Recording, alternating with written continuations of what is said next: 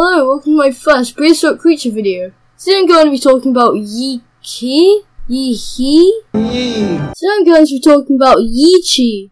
It's my favourite dinosaur because simply, it 100% had feathers. So no one can say dinosaurs didn't have feathers.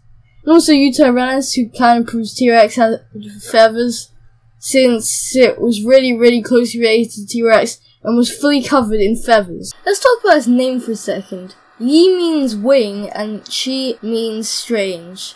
I don't really know anything else about its name, so it does just take a sec.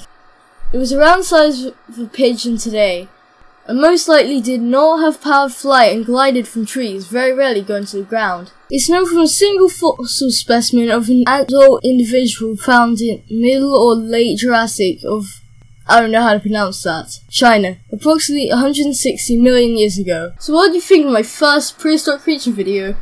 I don't know what to call this series, I'm going to do more, but not as much as my other videos. So I hope you enjoyed, and have a good rest of your day. For now, see you soon.